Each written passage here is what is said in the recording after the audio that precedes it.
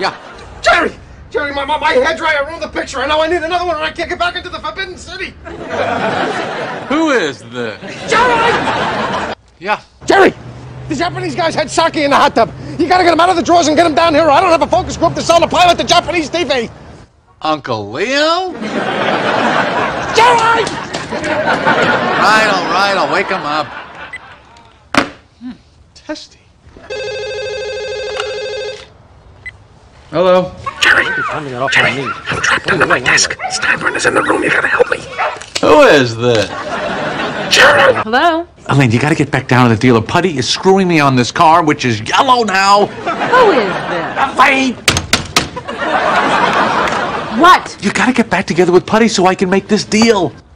You know, just that you cared enough to call means so much, Jerry. You gotta get back together anyway. It's thousands of dollars. I don't know. Come on, then you don't have to see him again to my 15,000 mile check. Well, will you pay my cab fare out there? Fine. And I didn't like that roast beef, so how about some lunch? No, no lunch. I'll hang this phone up right now! All right, lunch. I'll See ya. Bye. He's ripping me off.